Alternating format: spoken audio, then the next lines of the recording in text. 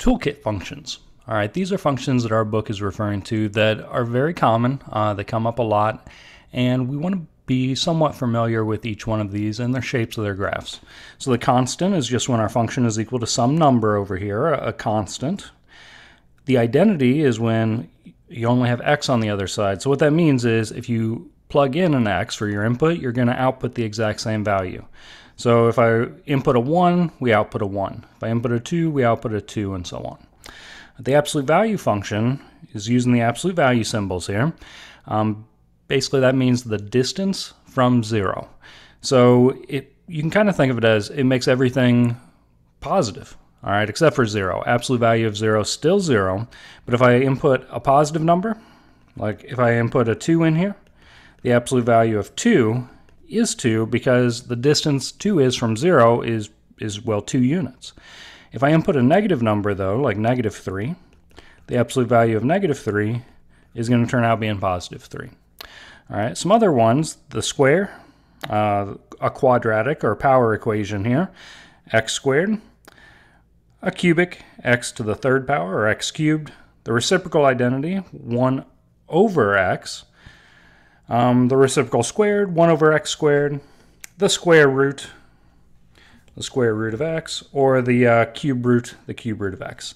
Now, it may be worth noting, and we'll see this in later sections, if you want to rewrite a square root, we can use a rational exponent. We can rewrite this as x to the 1 half power because it has an index of 2 that we don't typically write out in front there. I guess it was written over here.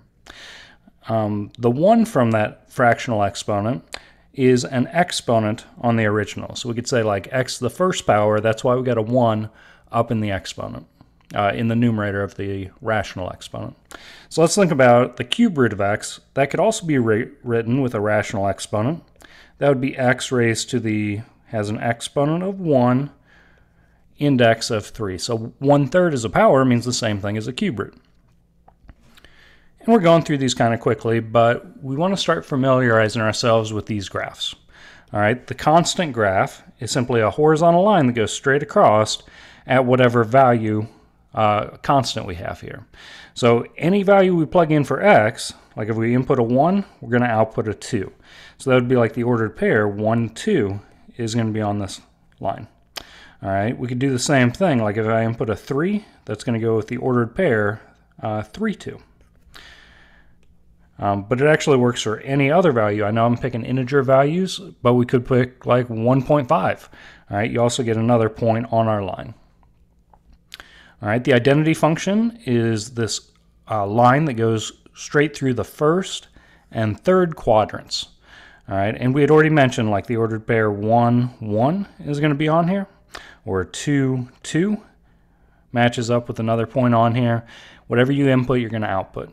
The absolute value function kind of looks like a V over here on the right-hand side because remember, it's making everything positive. All right, so all those negative values, if we plug them in, it's going to output a positive um, with the same value, just in the positive sense.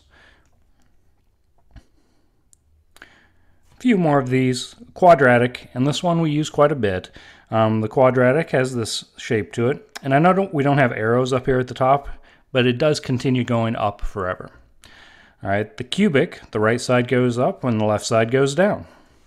The square root, you'll see that it starts here at zero and only goes off to the right-hand side, meaning we can only input positive values into the square root function. All right, that is something we would say is the domain of this function. It starts at zero and you can only input positive values. We'll talk about domains in just a little bit. The cubic, uh, or sorry, the cube root function down here in the bottom left, x to the one-third power, as we mentioned earlier, you can input any value you want for x. So we can input values that are positive or values that are negative as far as x values go, because those are the inputs here. The reciprocal and reciprocal squared functions look a little bit strange. The reciprocal function only lies in the first and third quadrants. And you'll notice that at the extremes, like way off to the right, way off to the left, we get very close to the x-axis, but we never quite get there. And you can kind of think about that as if you plugged in a really big number for x, like 100, 1 100th is a very small number, um, but it's not quite zero. You'll also notice on this that we're not allowed to plug in an x value of 0. This is what we refer to as a vertical asymptote at the y-axis and a horizontal asymptote at the x-axis. Um, and again, this kind of goes back to the domain. We're not allowed to divide by 0, so I can't put a 0 in for this x. The same thing can kind of be true about the reciprocal squared function. We're not allowed to divide by 0, so you can't put a 0 in for x. Um, it has graph in the first quadrant and the second quadrant, and again has the same vertical and horizontal asymptotes as the reciprocal function. All right, hope this helps out. Get used to these functions. Um, the more, the easier it is to recall what they look like, the easier it's going to be if we ever try to graph any of this stuff. All right, hope this helps. Good luck.